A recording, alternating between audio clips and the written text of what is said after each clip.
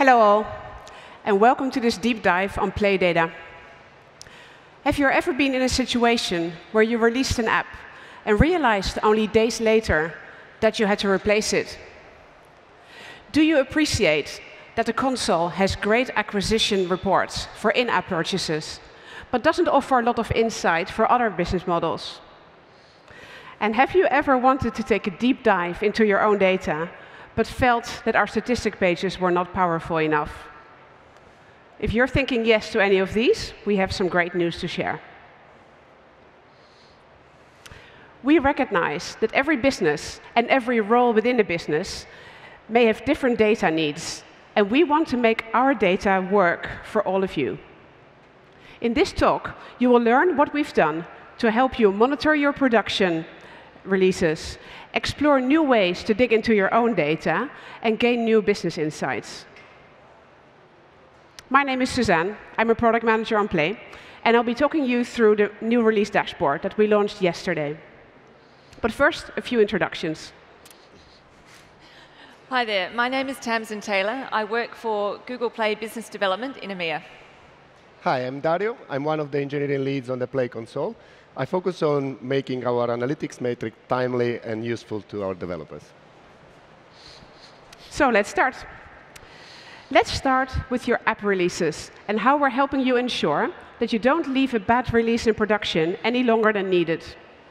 With our new low latency metrics and the release-specific breakdown into your data, we're giving you an hour-by-hour view into your app release health, out of the box, without the need for an SDK.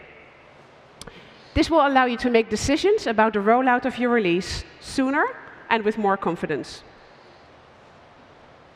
We've always been ahead of the curve with um, tools to prepare great releases. We have the pre-launch report, we have the alpha and the beta channels, but we haven't yet given you the data to monitor your production release as it happens.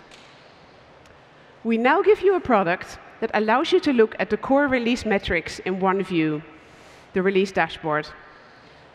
Within a couple of hours of your release entering the production track, you will see data for that release on the dashboard. So when you push a new release, you obviously care about crashes. The crashes that we used to show were those where a user proactively reported a crash.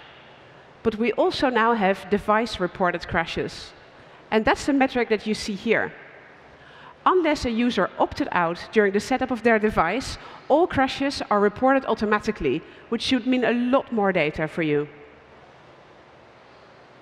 The other metric you should really care about is ANRs, application not responding.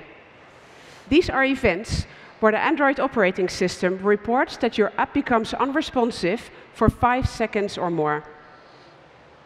Now, if on the crash card you click on View Clusters, or on the ANR card you click on View ANRs, you'll be able to see if your release introduced any new crashes or ANR that you should care about. And you can ex explore the new crash and ANR metrics there as well. So to learn more about the new crash and ANR metrics, and to learn exactly 10 secrets about health metrics, please come back to this same stage at 5.30 p.m. today to see Fergus, Ricardo, and Joe talk. Now back to the release dashboard. So I showed you crashes and ANRs. Releases aren't all about app health, though you also want to see ratings and reviews specific to your latest version. When the average rating for your current release is well below that of your overall rating, you may want to start looking into your one and two star reviews to see what's going wrong, and possibly even move on to halting your release. But what if you could also see low latency install and uninstall events that are specific to your release? And what if you could know how many uninstalls came from updated devices? Are you losing existing customers because your new version doesn't perform? Installs broken down by new installs and updates can tell a powerful story too, though. Have enough users updated for me to push my stage rollout to the next stage? As I've started hinting, it's not all about a single metric. Your crash tool may warn you if you get a huge spike. Your PM may tell you if your ratings suddenly drop. But what about subtle but significant changes across the board? Would you ever notice if you didn't see them all in the same place? Maybe your crashes go up, but not to a point where you would halt your release just yet. But your ratings are down. And if you look further, your uninstalls are becoming to, starting to trend above average. The combined data may tell you that this is not early stage noise, but actually a real problem that you need to investigate. So the context provided by this holistic review, by this holistic view is precisely how play data will help you make decisions sooner and with more confidence. So, so far, you've seen a bunch of metrics that tell you a lot about your production release, both when looked at in isolation, what are my ratings doing, and together, so what are my ANRs doing to my uninstalls or to my ratings. I've kept one of the most powerful features from you, though, and that's comparison. During user studies we ran for the release dashboard, we we noticed that virtually every participant mentioned that the success of a release is measured relative to the success of a previous release. Everybody has their own idea of what's an acceptable number of crashes and an acceptable rating. So Release Dashboard, when you open it later today, has a selector at the top that allows you to pick a past release to compare your current release against. So here's what comparison would look like for uninstall events and for crashes. The power of comparing is that it gives you even more signals to increase your confidence. You don't only have your crashes, you don't only have the impact that your ANRs are having on your ratings, but you can also see how these metrics um, compare against the previous successful release. And Jam City, developer of big hits like Panda Pop, Cookie Jam, and Genies and Gems, confirms exactly those notions quicker insight into success or problems, and comparing crash and ANR metrics against the previous release to see if they need to start looking into newly introduced crashes. And Wish, a very popular shopping app, say that they can now ramp up their releases faster and with more confidence and respond to issues more intelligently. The head of product also specifically mentioned that comparing ratings across releases gave very important qualitative feedback, which ties back to what I mentioned before about not focusing on app health alone. Right, that's the release dashboard that makes Play data work for you in low latency. So go look for it in the Play console when you next push a new version out. It is the new topmost item under release management. You'll be confident sooner and you have fewer users spending um, time looking at a bad app release version. Thank you, Suzanne. So when we think about the app development lifecycle, clearly the release is a critical point. I don't think anyone disagrees. But once you have your app in production and you're happy with it, you probably want to drive lots of new and valuable installs, right? Now, Given that you've all heard about the new release dashboard, I have confidence when you leave I.O., you'll be able to have a great release of your app. And once you have your app live, what are the four questions you should be asking yourself to grow your business? You should be asking, which marketing channels are driving my most valuable users? Which countries are they coming from? Are my install and buy conversion rates actually good? And which channels are bringing me my most loyal users? So why is this important? And what am I going to tell you? Well, I'll get onto that in a second. So in my role, I talk to developers every single day. There's probably some of you in the audience who I speak to regularly. And what I hear you say is that you need to know how effective your marketing channels are for attracting and retaining new valuable users. I hear you say that you need more data to make the right decision on where you spend your money and where you spend your time and effort to optimize your growth strategies. Now, you may already know this, but in case you don't, a couple of years ago we launched the User Acquisition Report. To remind you, the user acquisition report shows you how many people are going to your Play Store listing page. Of those, how many people install your app, and of those, how many people buy and buy again. You can cut this report by five main channels, the Play Store, Google AdWords, Google Search, third-party referrers, and track channels. Now, since last I.O., we've launched two improvements to this report, just to make it more useful for you and help you with your growth strategies. But first, I want to touch on track channels and why you should really be using these today. So one of the most powerful features of the user acquisition report is the ability to track and see acquisition broken down by UTM tag. Now, UTM tag lets you identify a link you've used to drive traffic to your store listing page. Any link can use UTM tags, your social shares, your websites, even other apps. And by tagging these links, you can see all of your traffic broken down by unique identifier. Why is this important? Well, if you're going to spend money on a campaign, you probably want to know how it's performing. And this allows you to see exactly which link is contributing to your most valuable users. It's really powerful. You can apply this link to anything you create to track the contribution that that specific link has had to your growth success. So, UTM tags are great for planned campaigns. But when I speak to developers, a lot of them tell me that the majority of their traffic actually comes organically through the Play Store. I can see some nodding. Now, you may remember I told you we'd made two improvements to the user acquisition report. So the first one is we've added country breakdown to the user acquisition uh, traffic report. And this is really helpful because, as you may have heard earlier today, and or yesterday, we now have 2 billion Android active devices across the world. So this report helps to identify where your unrealized opportunity is for international expansion and domination. Now, let me share with you a case study of a partner who's used this to their benefit.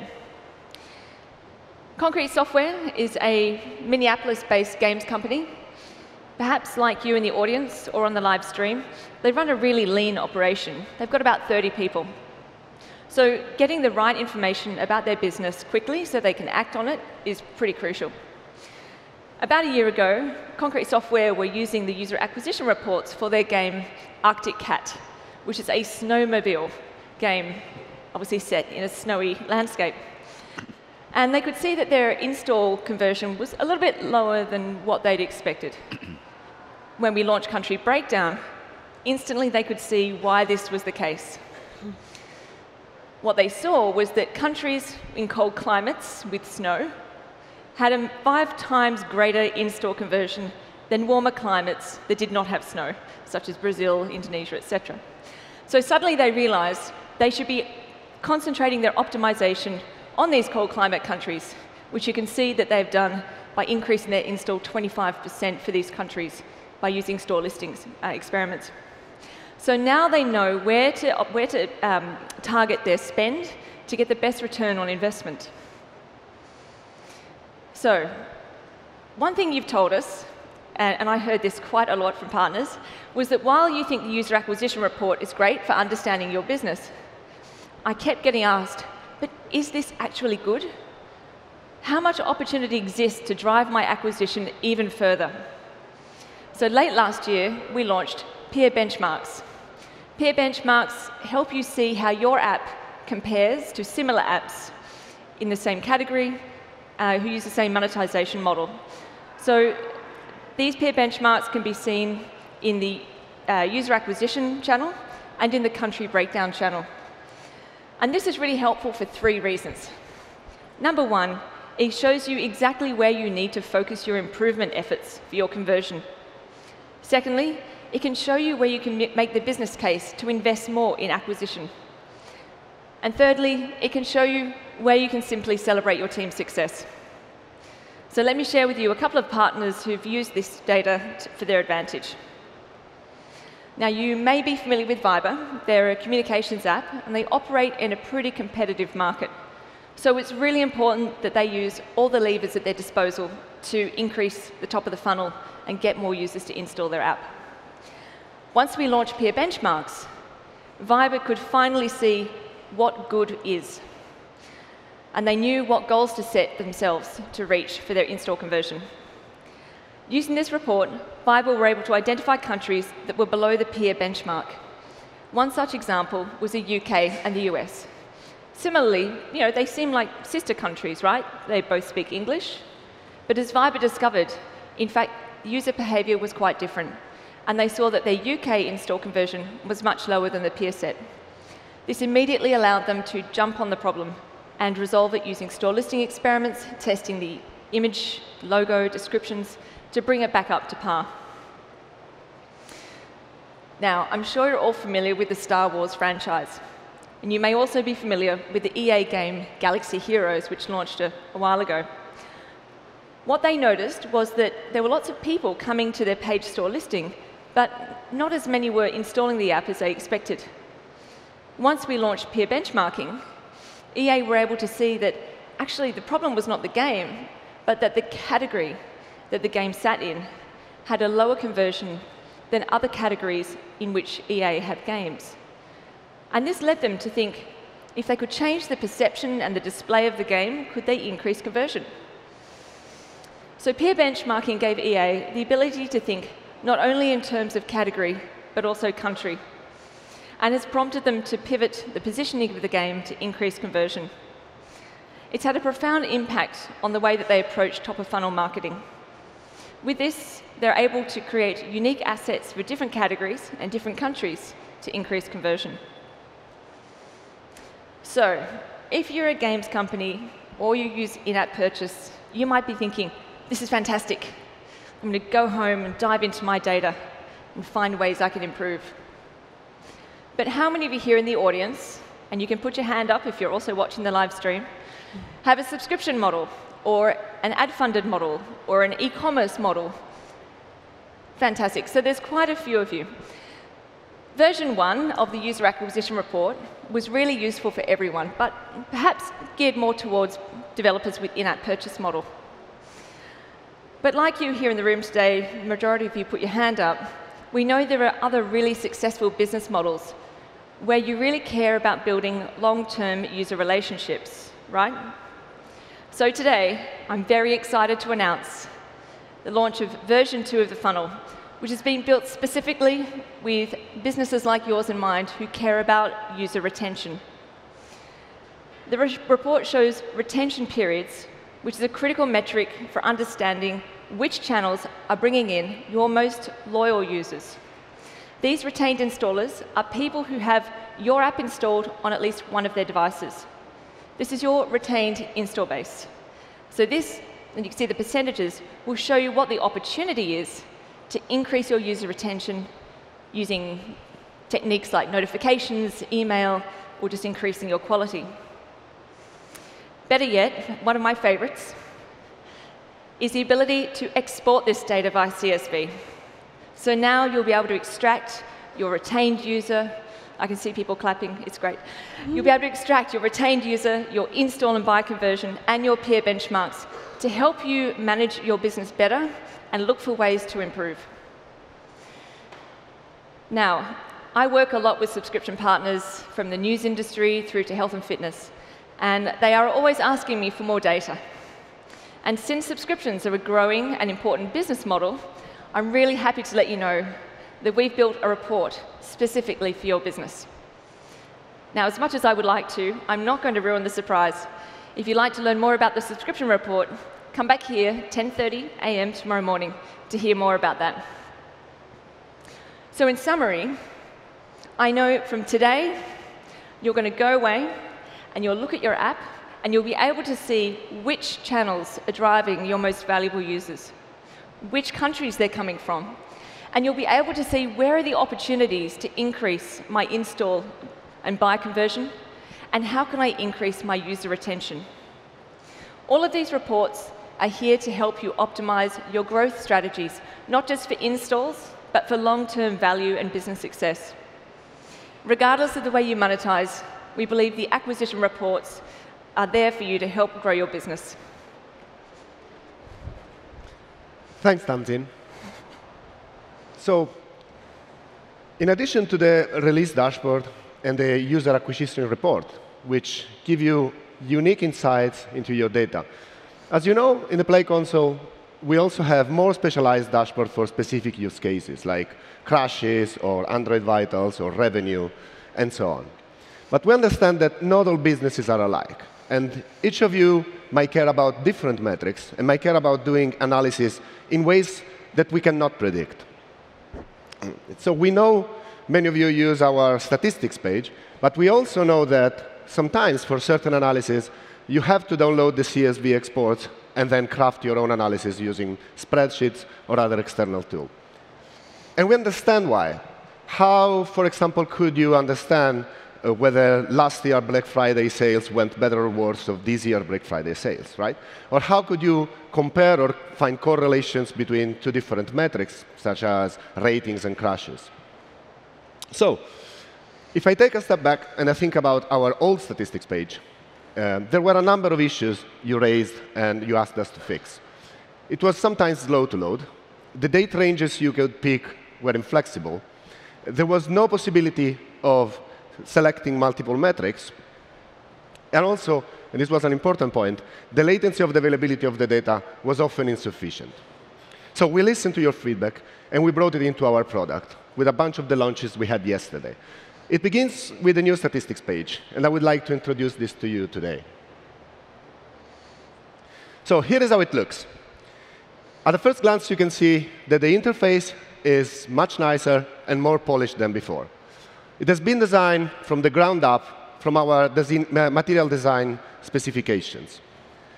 With this launch, we are also including some new metrics in the statistics page, such as, for example, the revenue metrics and also the install, update, and uninstall events, which are also available on the release dashboard that Suzanne presented before. Let me walk you through some exciting features of this page. First, you can now choose any date range you want to visualize your data. A nice date picker is available on the top right corner of the page. Can, there are some pre-selected time ranges, time ranges, but you can also pick a custom one you want to visualize. Previously, we only, we only had three, if I remember correctly, date ranges uh, fixed that always ended up today. But now, you, by being able to choose any date ranges, you can do some analysis such as look at Q4 of 2016 or January uh, of last year. In addition, when you select a date range, the new statistics page, by default, will also overlay a comparison of that metrics, of that date range, with its most recent history. So for example, if you pick the last week of the, the previous week of the, the last week of data, you will also see data relative to the previous week overlaid on the chart as a dotted line.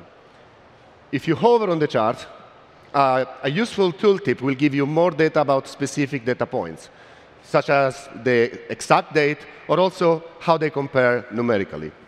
So this feature will allow you to do one of the comparisons that I was mentioning before, for example. You could compare last year Black Friday sales to this year very easily. So our partners at Expedia told us that they love this feature. They were actually able to do very quickly and at a glance year over year or quarter over quarter comparison analysis real quick. And they said that there is no other app analytics tool that they know of that does this so easily and seamlessly. Another cool feature is the ability of compare two different metrics. If you configure your report by clicking the Configure Report button, you can now select an additional metric to compare to, so that you can spot correlation of lack of correlation between different metrics, such as installer and revenue, or as you can see here, crashes and ratings. On the chart, the two different metrics will be plotted with two different colors, um, and as you can see, the date range comparison will still be available, and the tooltip will, be, um, will include information about both metric and, and different date ranges. So this feature will allow you to do quickly, to spot quickly correlation or lack of correlation between different metrics. We've spoken to Move Incorporated um, that had early access to the statistics page for their apartment and home rental search app they were able to spot correlation between crashes and uninstall. effectively showing the impact of app quality on the audience. So now think about this. Maybe many of you have a hard time prioritizing fixing technical debt over building new features, right? But once you have this data in hand, you can now build a case to work on that. So this is how you can use this data. Next, for some of our metrics available, such as the install, update, and uninstall events, you can now select to see hourly data instead of daily when visualizing these. Now, reducing the latency of our metrics has been of a, one of your loudest concerns. And we've taken that really seriously. We've worked really hard on that. And I'm happy to announce that for the metrics that are available, that are available hourly, you should ex expect them to be updated within a few hours. In fact, if you log on the Play console right now for this metric, you should already see data for this morning. The hourly data will allow you to observe hour-by-hour trends and also to uh, do analysis that were more difficult to do before. For example, in case of offline events, like a TV ad, and understanding how this affects your metric, your install metric, for example. As you can see here, the comparison features are still available also when you look at the data uh, at an hourly granularity. Last but not least, if you remember, the previous stats page uh, used to show you the top 10 uh, results for certain breakdowns, such as countries and device. If you wanted to dig deeper into data, you had to download the CSV export and, and observe, the, uh, observe, those. Well, we improved the situation significantly in the new statistics page. You still have the top 10 results, but you can now search for any breakdown. And as you can see, the table will also show a numerical comparison between different metrics if you have selected so. And in addition, you can select specific breakdowns, up to two, and, and see them plotted on the chart. And again, as before, all the comparison features I described before are still available. So you can do comparison between multiple metrics, between multiple date ranges, at an hourly granularity for specific breakdowns. So Jacob, the CEO of PlayLab, who sh should be in the room today, okay. Um, so they are a game developer company from Thailand. And he told us that he loved to have the possibility of comparing multiple metrics at a glance and without going through spreadsheet and also seeing per device or per country comparison. So the new stats page allows you to do more sophisticated analysis much more quickly than before. So to summarize, the new statistics page is a powerful and versatile tool um, to analyze data and to achieve quickly what you could only achieve before by downloading the data and using our ex uh, external tools or uh, ad hoc analysis. Um, we are publishing new metrics, such as revenue and install, update, and uninstall events. Some of these metrics will be available hourly, and for these metrics, you should also expect a much lower latency than before. So I hope you will enjoy using these features for your business as much as we enjoy building them for you. Thank you, and back to Suzanne.